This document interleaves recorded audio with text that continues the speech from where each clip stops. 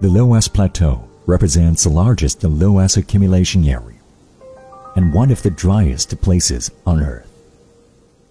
As far as Li Yao recalls, trees could only be found in the close vicinity of graves.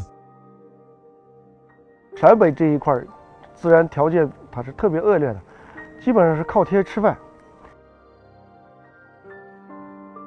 When Li Yao graduated from college in 2005, his father hoped he could follow the pursuit of the elder generations, which was totally unacceptable for him. This led to a fierce quarrel between them. Subsequently, Li Yao insisted to leave the Loess Plateau to pursue his dreams in the big city.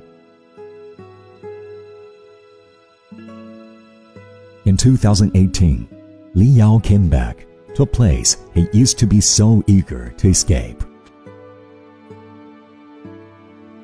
Li Yao's hard work starts to show progress in the vegetation that covers the soil.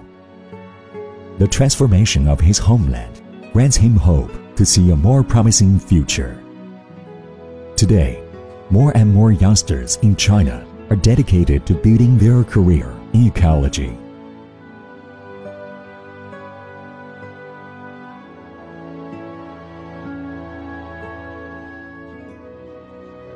Li Yao, as well as these eminent youth, are fully convinced that their green dream has already begun.